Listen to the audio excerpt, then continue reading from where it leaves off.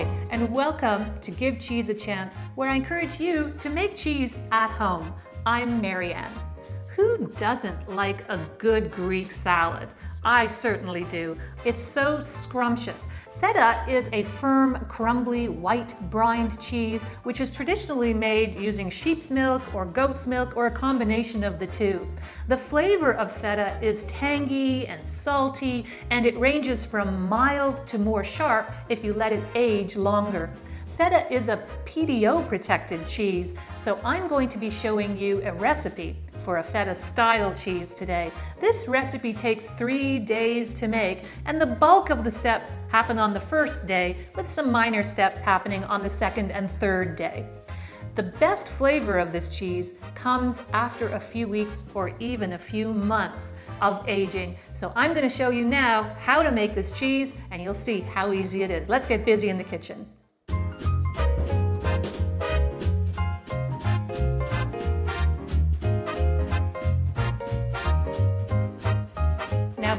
You start any cheese making project, make sure all of your utensils are very well cleaned.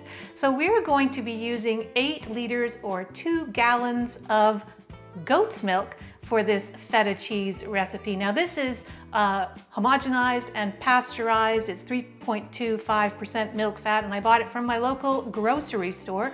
One note about milk, you cannot use ultra pasteurized milk for any cheese making project. It just won't work. It's been heated to such a high temperature that the uh, proteins and enzymes have been denatured uh, so that it can be stored at room temperature. So don't use ultra pasteurized milk for this or any cheese making project.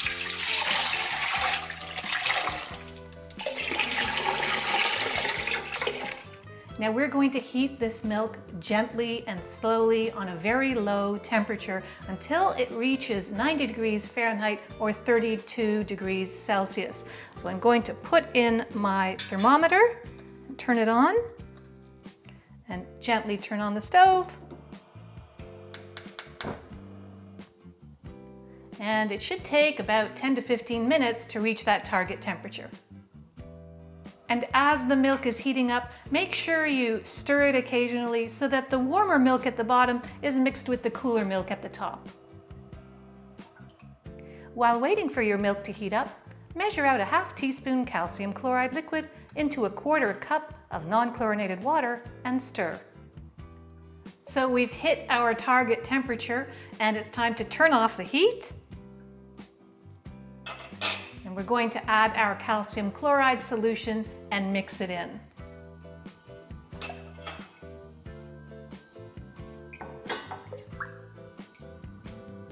And now we're going to add half a teaspoon of Danisco Choozit feta bacterial culture. This is freeze dried. I keep it in my uh, freezer. It lasts for years. We're going to take that half teaspoon of culture and sprinkle it on the surface of the milk. And we're going to let it sit there for three to five minutes before mixing it in.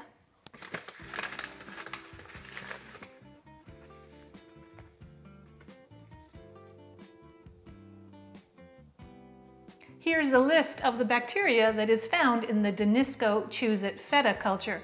But don't worry, if you don't have this product, you can use any other mesophilic culture, for example, Aroma B, MA4001, or MA11, and you'll get a good result. So after the time is up, make sure to mix the milk thoroughly so that the bacteria that you sprinkled on the surface gets fully incorporated throughout the milk. And when that's done, cover the pot and let it incubate for one hour. Meantime, add a half tablet of rennet to a quarter cup of non-chlorinated water and let it dissolve. So the one hour is now up and the bacteria has done a good job of acidifying our milk. It's time to add our rennet solution that we prepared earlier. Here it is. I'm gonna give it an extra stir. I'm going to pour it into our milk and then stir for a whole minute.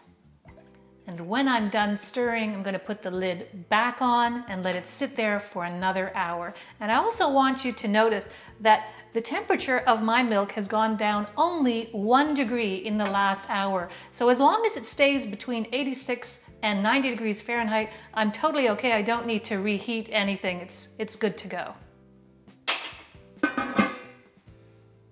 Meanwhile, bring a pot half full of water to a boil. Put inside a piece of fabric that you have reserved for your cheese making projects. I'm using butter muslin fabric today. However, you can use an old pillowcase that you don't use anymore for bedding and that you don't wash with your regular clothes. You have to make sure to keep this fabric immaculately clean if you're going to use it for your cheese making projects. So boil it for 15 minutes to sterilize it and then let it cool. So the one hour time is now up. We're gonna look inside the pot. We want there to be a gelled curd mass here. And the way that we tell is we insert our knife and we open up that cut that we've made. Has it separated cleanly? Yes, it has. That is a good clean break. So that means it's time for us to cut the curd. We're going to put a long knife in through the curd and make parallel cuts about one centimeter or half an inch apart all throughout the milk in the same direction.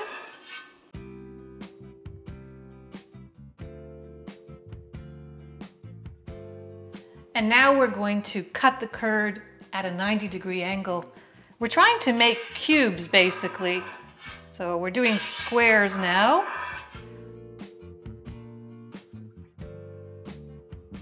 And in a tall pot like this, it's very hard to make horizontal cuts. So just do your best. You don't have to be perfect. And run the knife horizontally as much as you can, going right down to the bottom of the pot. The goal is to have cubes that are uniform in size, but it's virtually impossible as a home cheese maker unless you have specialized equipment. So we're gonna go right down to the bottom and even the other side over here. Let's remove our thermometer. And now that we've cut the curd, we're going to use a rubber spatula just to separate the curds from the outside wall of the pot. And the curds are very delicate at this stage, so go slow and be gentle.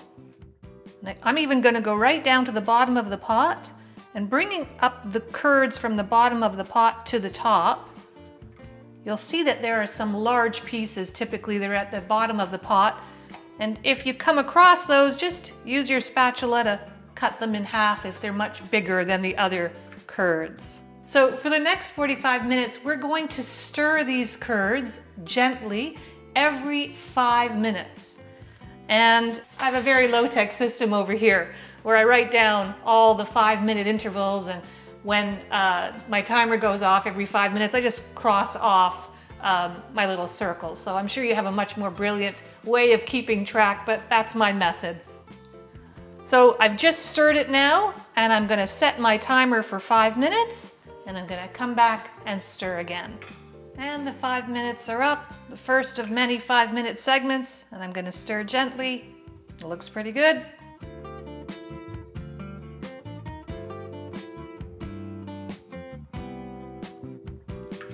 We basically want to get the curd to become the texture of cooked egg whites.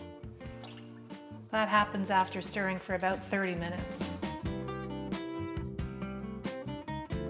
Definitely feel the curds are much more firm now than when we started. So this is the 40 minute mark and we're gonna stir it one more time.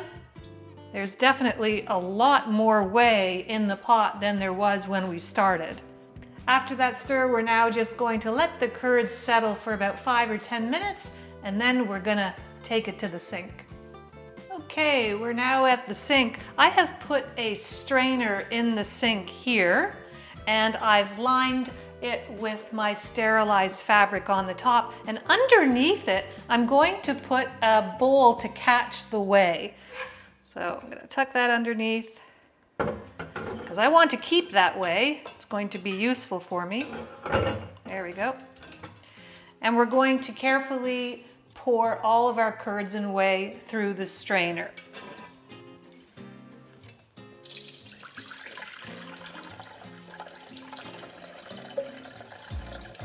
Now we're going to let that drain for 10 minutes.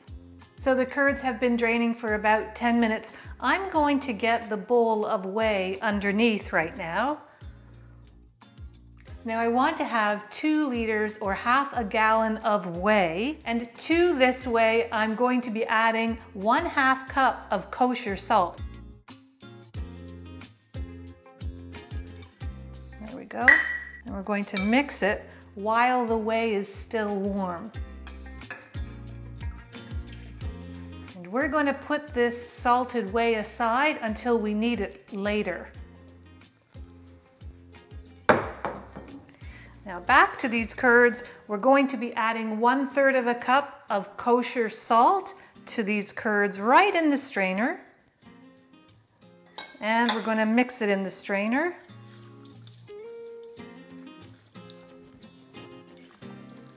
you can really hear a lot of the whey dripping down. And when it's fully mixed, you're just gonna let that drip another 10 minutes. Now it's time you need to set up your cheese press. And if you don't have a cheese press at home, don't worry, you can still do this uh, feta cheese recipe. I suggest you go to my video on Nabulsi cheese and fast forward to the 9 minute and 30 second mark where I can show you how to use two heavy cutting boards to make a cheese press without any of these poles or anything like that. So uh, it's now time to take your curds and put them into a mold. So I happen to have a rectangular mold here and I'm just going to pick up the curds. And they're still dripping quite a bit. Maybe I'll put the mold right in here to make it easier. I'm going to lower the curds and the fabric right into the mold. I'm going to open it up a little bit. Make sure everything's nice and square. It's fit in quite nicely. And I'm gonna fold over one side. There we go. Nice and flat. And I have another mold which is exactly the same as this and I'm gonna use it as what's called a follower. So I'm gonna pick up the whole thing and put it into my cheese press. I'm gonna move it over to the sink so that it drips gonna drip right into the sink this way. I'm going to use a kettle that is partially filled with water.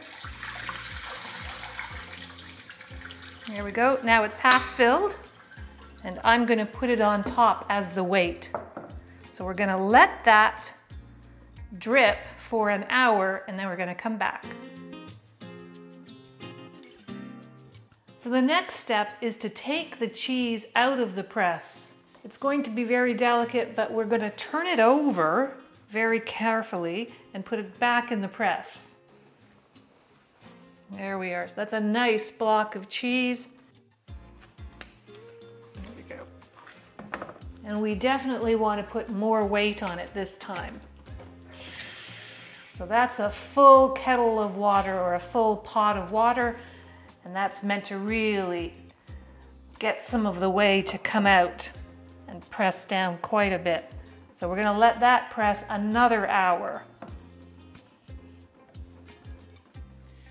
And now that the hour is up, we're going to remove the cheese from the press again.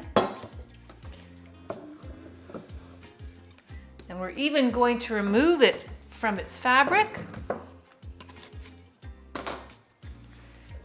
We're gonna take it out and we're gonna put it back in the press without the fabric. We're just gonna put it gently back in. So now that the cheese is in the mold without the fabric, I'm going to put the follower on top and put it in the press. And I'm gonna put the whole weight on top of it. And we're gonna let that sit overnight. It's now 9 a.m. the next morning and it's time to unmold our cheese.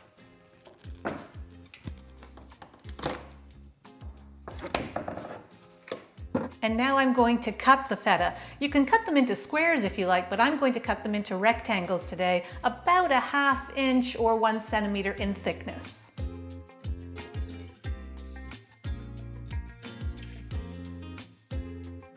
I've measured out one half a cup of kosher salt and we're going to add it to all the surfaces of the feta and then we're going to put it onto a roasting rack. This will allow all of the moisture to drip down into the tray overnight.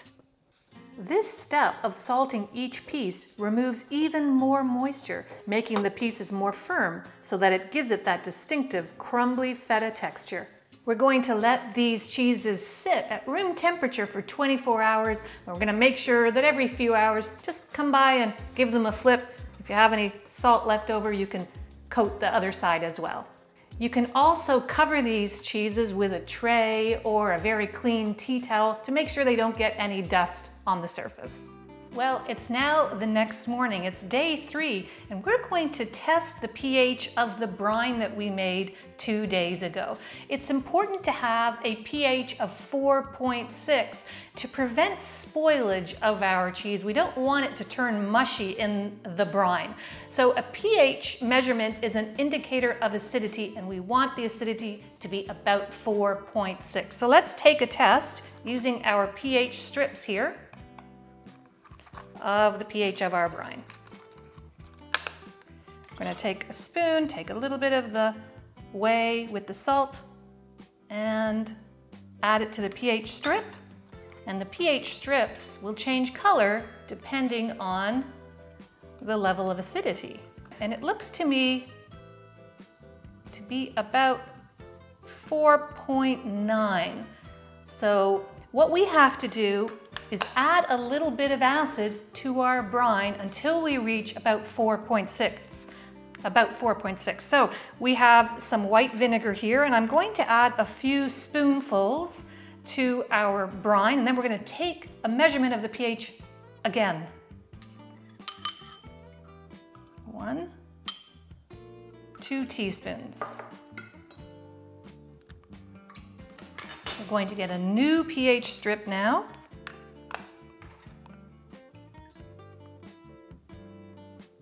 See if that has changed the pH level. Oh, it's definitely brought it down. It seems to be about 4.7. And I added two teaspoons. So I'm just gonna add one more teaspoon of vinegar. And you might have to add three teaspoons, you might have to add none, you might have to add 10 teaspoons. You just have to keep measuring until you get that right pH. This is where your high school science classes come in handy. Take a little bit more brine. So now let's check again. I think that is 4.6 on the nose. That looks good. So our brine is ready to go. So now it's the last step. We just have to store our feta. You can use a Tupperware container or a Rubbermaid container, any kind of plastic storage container, but I like to store my feta in glass mason jars. So that's what I'm going to do today. Just pick up your cheeses and put them into a lovely mason jar like that. So you can use a measuring cup and just scoop that brine and put it on top of your cheese. Now, this brine is used to prevent any bacterial contamination to the surface of the cheese as it is stored and aged. So you wanna make sure that those cheeses are fully submerged. So there we've got a nice jar full of five pieces of feta. I'm gonna cover it with the brine. And that's perfect we made two jars of feta. And I'm going to store them for one week at room temperature. And after that, I'm going to store them in a cooler environment at about 8 to 10 degrees Celsius, which is the temperature of my basement cold room. And they're going to stay there for about two to four weeks to mature. And then I'm going to put them in my regular refrigerator where they will get even better and better tasting over the six to 12 month period that they're going to age. And I can eat them at any time after the one week mark, but you'll find they'll get even better and better tasting the more weeks that pass. Well, we're done making our feta and I've made two jars with this recipe. This is about 2.4 pounds or one kilogram worth of feta. It's certainly enough to have you eating Greek salad for the next few weeks and enough also for you to share with your friends. Here's my friend Ruth eating some of the feta that I made a few weeks ago and it's just so much fun to share your cheeses with your friends. They really appreciate it and it feels good to give to everyone as well. Now, another way that you can uh, gift this feta is to put the cheese in jars with some extra virgin olive oil and some herbs like rosemary, peppercorns, or if you want to give it some kick, some dried chilies, and that makes a great gift to your friends. This cheese also can be eaten right out of the brine. You don't need to desalt it the way you would a Nabulsi cheese. So it's very convenient to have a jar of this in your fridge all of the time. Well, I hope you enjoyed this video on how to make feta cheese. My name's Mary Anne. Please make sure you click the like button below and the subscribe button with the bell beside it so you can see my videos in the future. Thanks so much for watching. Give cheese a chance. We'll see you next time. And until then, check out this feta made by my sister in law, Lourdes.